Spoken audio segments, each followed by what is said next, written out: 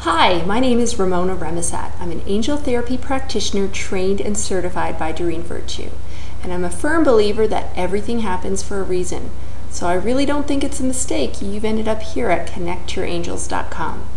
Welcome! I'm really glad you're here.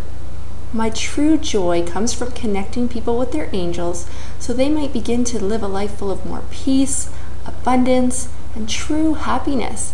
Because let's face it, in today's world, we're pretty challenged when it comes to those things. In fact, you're probably here because you could use a little help too. Maybe you're struggling with making a really important decision and you're just super fearful about making the wrong choice. Or maybe you're dying to make a career change and honestly, you don't even know what direction you want to move into.